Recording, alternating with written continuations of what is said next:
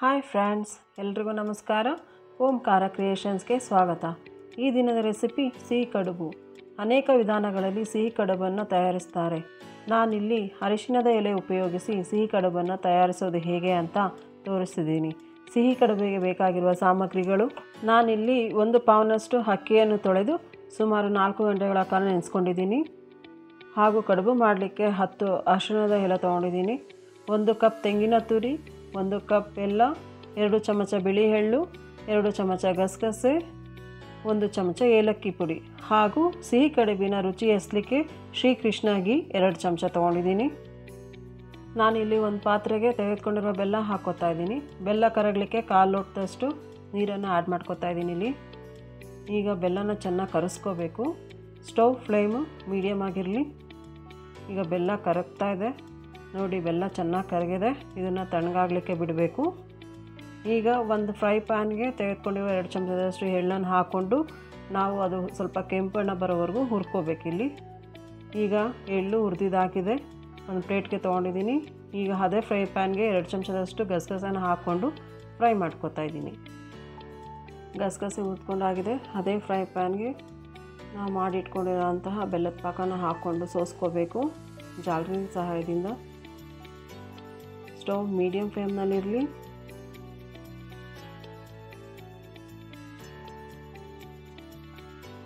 ಬೆಲ್ಲದ ಪಾಕ ಈಗ ಚೆನ್ನಾಗಿ ಕುದೀತಾ ಇದೆ. ಈ ಹಂತದಲ್ಲಿ ನಾವು ತೆಗೆದುಕೊಂಡಿರುವಂತಹ ತೆಂಗಿನಕಾಯಿ ತುರಿನ ಹಾಕೋಬೇಕು. ನಾನು ಹೀಳಿಗೆ ಮಣ್ಣಿನಲ್ಲಿ ತುರ್ಕೊಂಡಿದ್ದೀನಿ ತೆಂಗಿನಕಾಯಿನ. ನೀವು ಬೇಕಿದ್ದರೆ ಮಿಕ್ಸಿನಲ್ಲಿ ಒಂದು ರೌಂಡ್ ಮಿಕ್ಸಿ ಮಾಡ್ಕೋಬೋದು. ನಾನು ಹಾಗೆ ಹಾಕ್ಕೊಂಡಿದ್ದೀನಿ ತೆಂಗಿನಕಾಯಿಯ ಹಸಿ ವಾಸಿ ಹೋಗೋವರೆಗೂ ಸ್ವಲ್ಪ ಚೆನ್ನಾಗಿ ತಿರುಗಬೇಕು. ಬೆಲ್ಲ ಹಾಗೂ ತೆಂಗಿನಕಾಯಿ ತುರಿ ಒಂದಕ್ಕೊಂದು ಹೊಂದ್ಕೋಬೇಕು. ಈ ಹಂತದಲ್ಲಿ ನಾನು ಶ್ರೀಕೃಷ್ಣ ಗೀನ ಬಳಸ್ತಾ ಇದ್ದೀನಿ. ಸಿಹಿ ಕಡುಬಿನ ರುಚಿ ಹಚ್ಚಲಿಕ್ಕೆ ಎರಡು ಚಮಚದಷ್ಟು ಹಾಕೋತಾ ಇದ್ದೀನಿ.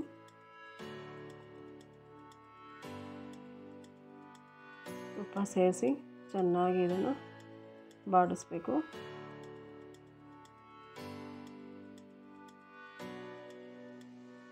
ಕಡುಬಿನ ರುಚಿ ಹಚ್ಚಲಿಕ್ಕೆ ನಾನಿಲ್ಲಿ ಎಳ್ಳು ಮತ್ತು ಗಸಗಸನ ಸಹ ತೊಗೊಂಡಿದ್ದೀನಿ. ಹಾಗೆ ಏಲಕ್ಕಿ ಪುಡಿನೂ ಸಹ ಹಾಕೋತಾ ಇದ್ದೀನಿ. ಚೆನ್ನಾಗಿ ಮಿಕ್ಸ್ ಮಾಡ್ಕೋಬೇಕು ಒಂದಕ್ಕೊಂದು ಹೊಂದ್ಕೊಳ್ಳೋ ಹಾಗೆ. ಇಲ್ಲಿ ಸ್ಟವ್ ಲೋ ಫ್ಲೇಮ್ನಲ್ಲಿರಲಿ, ಇಲ್ಲಾಂದರೆ ತಳ ಹತ್ತುತ್ತೆ. ಮಿಕ್ಸಿ ಜಾರ್ಗೆ ನೆನೆಸ್ಕೊಂಡಿರುವ ಅಕ್ಕಿನ ಹಾಕ್ಕೊಂಡು ನುಣ್ಣು ರುಬ್ಕೋಬೇಕಿಲ್ಲಿ ನಾವು. ಬೇಕಿದ್ದರೆ ನೀವು ಇಲ್ಲಿ ಉಪ್ಪನ್ನು ಆಡ್ ಮಾಡ್ಕೋಬೋದು ಸ್ವಲ್ಪ. ನಾನಿಲ್ಲಿ ಉಪ್ಪು ಹಾಕೋತಾ ಇದ್ದೀನಿ. ಅರ್ಧ ಚಮಚದಷ್ಟು. ನುಣ್ಣಗೆ ರುಬ್ಕೊಂಡಿದ್ದೀನಿ ಈಗ. ನೈಸಾಗಿ ರುಬ್ಕೋಬೇಕು. ಸ್ವಲ್ಪ ಗಟ್ಟಿಯಾಗಿ ರುಬ್ಕೋಬೇಕಾಗುತ್ತೆ.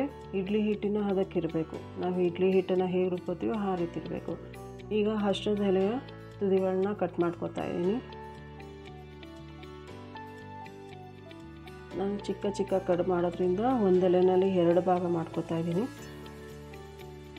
ಈಗ ಎಲೆಗೆ ನಾವು ರುಬ್ಬಿರೋ ಅಂಥ ಅಕ್ಕಿ ಹಿಟ್ಟಿನ ಮಿಶ್ರಣನ ಹಾಕ್ಕೋಬೇಕು ಸ್ಪೂನ್ ಸಹಾಯದಿಂದ. ನೀವು ಬೇಕಿದ್ದ ಕೈಯಿಂದನೂ ಸಹ ಹಾಕ್ಕೋಬೋದು ಇಲ್ಲಿ ಈ ಥರ ಚೆನ್ನಾಗಿ ಸ್ಪ್ರೆಡ್ ಮಾಡ್ಕೋಬೇಕು. ನೋಡಿ, ಈ ರೀತಿ ಚೆನ್ನಾಗಿ ಸ್ಪ್ರೆಡ್ ಮಾಡ್ಕೋಬೇಕು ಅಕ್ಕಿ ಹಿಟ್ಟನ್ನು. ಅಕ್ಕಿನ ಚೆನ್ನಾಗಿ ನನಗೆ ರುಬ್ಬೋಬೇಕಾಗುತ್ತೆ ಇಲ್ಲಿ. ಈಗ ಮಾಡಿಟ್ಕೊಂಡಿರುವಂಥ ಹೂರ್ಣನ ಹಾಕ್ಕೋಬೇಕು. ಈ ರೀತಿ ನಾವು ಹಾಕ್ಕೋಬೇಕು. ಈಗ ಎಲೆನ ಫೋಲ್ಡ್ ಮಾಡ್ಕೋಬೇಕು. ಮಿಕ್ಕಿದ ಕಡುಬುಗಳನ್ನೆಲ್ಲ ಇದೇ ಥರ ಫೋಲ್ಡ್ ಮಾಡ್ಕೋಬೇಕಾಗುತ್ತೆ ನಾವು. ಇಲ್ಲಿ ನಾನು ಇಡ್ಲಿ ಬೇಯಿಸೋ ಒಂದು ಪಾತ್ರೆ ಇಟ್ಕೊಂಡಿದ್ದೀನಿ.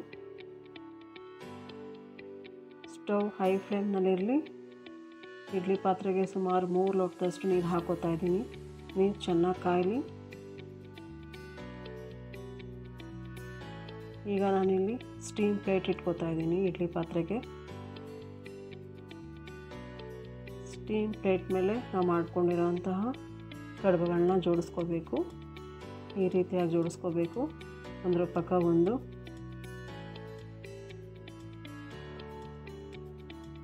ನೀವೆಲ್ಲರೂ ಟ್ರೈ ಮಾಡಿ, ತುಂಬ ಚೆನ್ನಾಗಿ ಬರುತ್ತೆ. ಹೇಗೆ ಬಂತು ಅಂತ ನನಗೆ ಕಮೆಂಟ್ ಸೆಕ್ಷನಲ್ಲಿ ತಿಳಿಸಿ. ಅರ್ಶಿಣದ ಎಲೆ ಬದಲಾಗಿ ನೀವು ಬಾಳೆ ಎಲೆನೂ ಸಹ ಉಪಯೋಗಿಸ್ಕೋಬೋದು ನೀವಿಲ್ಲಿ. ಗಾಮ ಎಲೆ ಘಮ ಕಡುಬು ತುಂಬಾ ಇರುತ್ತೆ. ಅದರ ಘಮ ತುಂಬ ಚೆನ್ನಾಗಿರುತ್ತೆ. ನೀವು ಒಮ್ಮೆ ಟ್ರೈ ಮಾಡಿ ಸುಮಾರು ಹದಿನೈದರಿಂದ ಇಪ್ಪತ್ತು ನಿಮಿಷಗಳ ಕಾಲ ನಾವು ಬೇಯಿಸ್ಕೋಬೇಕು. ಈಗ ಚೆನ್ನಾಗಿ ಬೆಂದಿದೆ ಕಡುಬು. ನೋಡಿ ಎಷ್ಟು ಚೆನ್ನಾಗಿ ಬಂದಿದೆ ಈಗ ಅಂತ. ತುಂಬ ಸಾಫ್ಟಾಗಿರುತ್ತೆ ತಿನ್ನಲಿಕ್ಕೆ ಭಾಳ ರುಚಿಯಾಗಿರುತ್ತೆ. ತಿಂತಾ ಇದ್ರೆ ಪದೇ ಪದೇ ತಿನ್ನಬೇಕು ಅಂತ ಅನಿಸುತ್ತೆ. ನೀವು ಒಮ್ಮೆ ಟ್ರೈ ಮಾಡಿ ಹೇಗೆ ಬಂತು ಅಂತ ಕಾಮೆಂಟ್ ಸೆಕ್ಷನಲ್ಲಿ ತಪ್ಪದೇ ತಿಳಿಸಿ. ಇದನ್ನು ತುಪ್ಪದ ಜೊತೆ ಸವಿಲಿಕ್ಕೆ ಭಾಳ ಚೆನ್ನಾಗಿರುತ್ತೆ. ಈ ವಿಡಿಯೋ ನಿಮಗೆ ಇಷ್ಟ ಆದರೆ ನಮ್ಮ ಚಾನಲನ್ನು ಸಬ್ಸ್ಕ್ರೈಬ್ ಮಾಡಿ, ಲೈಕ್ ಮಾಡಿ, ಶೇರ್ ಮಾಡಿ ಹಾಗೂ ಕಮೆಂಟ್ ಮಾಡಿ. ವೀಕ್ಷಿಸಿದ ನಿಮ್ಮೆಲ್ಲರಿಗೂ ಧನ್ಯವಾದಗಳು.